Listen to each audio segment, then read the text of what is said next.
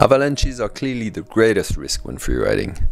Most casualties occur due to suffocation and injuries. Once under an avalanche, you only have 15 minutes before your chances of survival fall drastically. Existing safety solutions do not guarantee getting and staying on top because of the anchor effect caused by undetached wide freeride skis or snowboards. Introducing the first solution that helps detach snowboards effectively, Resero XV allows the riders to send a wireless signal to a receiver on the board which detaches the bindings. Combining Resero XV with avalanche airbags significantly increases your chances to float and to survive. To create Resero XV, we use state-of-the-art engineering.